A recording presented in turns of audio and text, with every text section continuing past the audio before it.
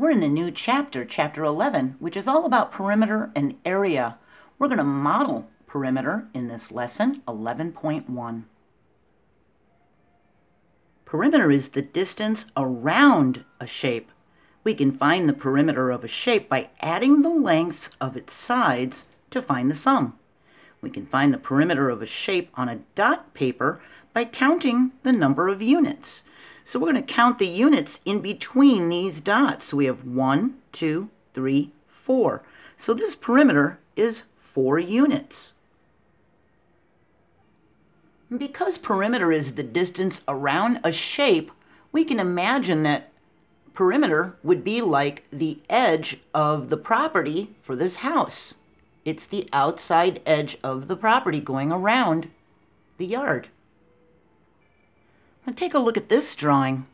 This perimeter is 1 plus 1 plus 1 plus 1 plus 2 plus 2, which equals 8 units. If the distance between each dot is 1 inch, then the perimeter is 8 inches. If the distance between each dot is 1 centimeter, the perimeter is 8 centimeters. It just said units, so that means they haven't determined if it's inches or centimeters or feet or yards or meters. They're just saying units. If all the sides are equal in length, we can multiply the length of each side by the number of the sides. Here we have a square, and a square has four sides that are all the same length. We can see that this is two units, this is two units, we have another two, and another two. We can do 2 units times 4 sides, which equals 8 units. On dot paper, the distance between two dots is 1 unit. We can total the amount of units to find a figure's perimeter. Mr. Lee built a fence around his vegetable garden. He measured the perimeter of his garden to know how many feet of fence material to buy. And because his garden is a rectangle, the opposite sides have the same length. If this side's 10 feet, then this side will be 10 feet. And if this side's 12 feet, then this side will be 12 feet because it's a rectangle. It has two pairs of sides of equal length. We can add 10 plus 10 plus 12 plus 12.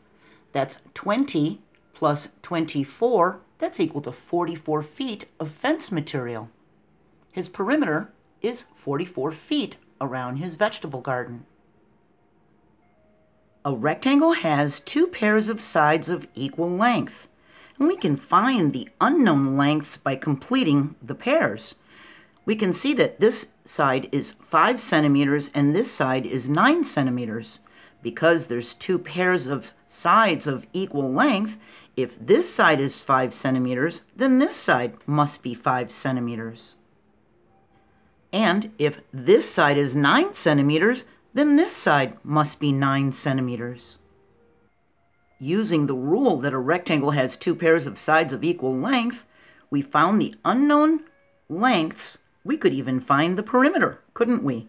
We could add 9 plus 9, which is 18, and 5 plus 5, which is 10, and 10 and 18 is 28. So his perimeter would be 28 for this rectangle. A rectangle has two pairs of sides of equal length. It's telling us that one side is 3 units and that the perimeter is 16 units. We don't know what the other measures are, but we can find the missing side lengths with addition, subtraction, then division. We know if this side is 3 units, that this side must be 3 units. We can add 3 plus 3, which equals 6 units. We know it has a 16 unit perimeter. We can do the 16 units minus the 6 units we found, which equals 10 units.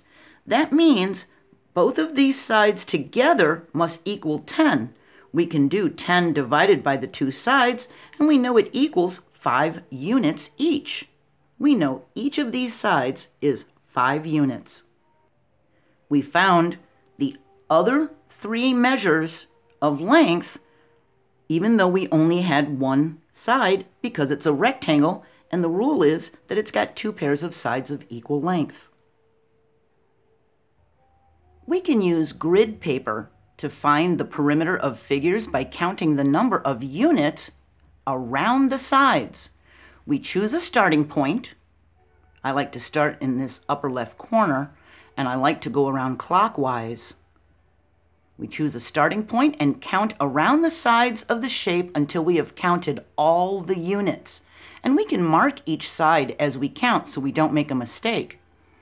One, two, three, four, five, six, seven, eight, nine, ten, eleven, twelve, thirteen, fourteen. We can do it for this one. One, two, and then look, here's three, then four, then five, then six, seven, eight, nine, ten, eleven, twelve. Do you notice when we went down here, we counted this side as 2 and this side as 3. And we counted this side as 5 and this side as 6.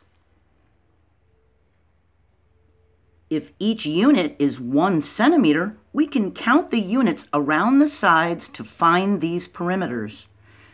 I'm going to start up here in the corner and go 1, 2, 3, 4, 5, 6, 7, 8, 9, 10, 11, 12, 13, 14. The perimeter, because each unit is one centimeter, is 14 centimeters. For this one, we can start up here, or I started here, 1, and then this one is 2, 3, 4, 5, 6, 7, 8, 9, 10, 11, 12, 13, 14. Notice when it went in on the corner, I counted that side and then the one right up here. See how I did that? So the perimeter for this shape is 14 centimeters. And they look different and they have the same perimeter, don't they? Just for a little extra information, the reason they have the same perimeter is they have the same number of little pink lines coming down. For this one, it punched outward for the 3 and 4. For this one, it went inward. See that? For 4 and 5, if we had come out for this one instead of going in, we would have had 1, 2 here. Do you see how it would have come outward if we did it like this one? But instead it went in. It was still 2. 1, 2 if we had gone that way, and 1, 2 if we'd gone this way. And this could have been 4 and that could have been 5, but instead we went in this way for 4 and 5. So whether it's punched inward or punched outward, we still have two little lines here. So they have the same perimeter, even though they look different. Perimeter is the distance around the sides of a shape. And we have a triangle. A triangle with sides of equal length has a perimeter of 15 inches. What is the length of each side? Well, since each side is of equal length, we can use division to find the side lengths. We know the total is 15. We divide that 15 inch perimeter by the three sides and we see that it's 5 inches for each side. That would be 5 and 5 and 5 and that would be 15, wouldn't it? A hexagon with sides of equal length show one side is 4 centimeters. What is the perimeter of the hexagon? Well, since each side is of equal length, we can use multiplication to find the perimeter. They're all the same length, and it's showing that one of, them, one of them is 4 centimeters. We can do 4 centimeters times one, two, three, four, five, six sides of a hexagon. And 4 times 6 is equal to 24. That means it's 24 centimeters for its perimeter. And we also could have used repeated addition. We could have done 4 plus 4 plus 4 plus 4 plus 4 plus 4. But it's a lot easier and quicker to do multiplication. Hopefully you know your four facts and your six facts by now that you can do. 4 times 6 is equal to 24. And remember to count every unit line around the sides to get the correct perimeter. Starting here, we count 1, 2, 3, 4, 5, 6, 7, 8, 9, 10, 11, 12, 13, 14, 15, 16, 17, 18, 19, 20. The perimeter is equal to 20 units. We say units because it didn't tell us if it was inches or centimeters or feet, so we just say units. For this one, we do the same thing. We can start at one point. We go 1, 2, 3, 4, 5, 6, 7, 8, 9, 10, 11, 12, 13, 14, 15, 16, 17, 18. This perimeter, perimeter is equal to 18 units. Make sure you count every unit line, even when you're coming around corners, like inside of here. That's a line, that's a line, that's a line, and that's a line. We have to count them all. Tala drew a rectangle with a perimeter of 16 inches. Select the rectangles that Tala could have drawn. We have A, which is 6 inches long and 3 inches wide, B, 7 inches long and 1 inch wide, C, 5 inches long and 3 inches wide. So remember, a rectangle has two pairs of sides of equal length, four sides in all. If it's got a side that's 6 inches long, we can put the 6 right here. We know it must have another side that's 6 inches long because it would be a pair, wouldn't it? So we can put another 6 there. There's a side that's 3 inches wide, so we can put a 3 there. And to complete this pair, we put another 3 there. Now we find the sum. 6 plus 6 is 12, 13, 14, 15, 16, 17, 18. This would be 18 units. Our units are inches. It was supposed to be a perimeter of 16 inches, so this one doesn't work. 6 plus 6 plus 3 plus 3 is equal to 18, not 16, so it's not A. Now we have seven inches long and one inch wide, so we can put a pair of sevens and a pair of ones here.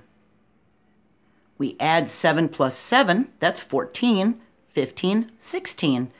That equals 16. This one would work. It equals 16, so B can be one of the rectangles that Tala could have drawn. For this one, it was five inches long and three inches wide, so we can put a five and a five and a three and a three. Five plus five is 10, and three plus three is six. 10 plus six is equal to 16. So this also could have been a rectangle that she drew. And we can solve these with addition, like we did, or we could draw rectangles on blank grid paper. We just have to draw one that's got a six inch side or a six unit side and another six unit side, and then do a three unit side and a three unit side. Draw one with a seven unit side and a seven unit side on the top and the bottom, maybe, and on the sides, a one and a one. And we can draw it on blank grid paper. And if you don't have blank grid paper, you can find it on the internet. You can search for it, or you can go to my JoAnn's School Facebook images section and you'll see blank grid paper that you can copy, paste, and print. Here we have a drawing by student A and a drawing by student B. Student A and student B counted the units of the figure to find the perimeter. Which student found the correct perimeter? Well, let's take a look at what student A did.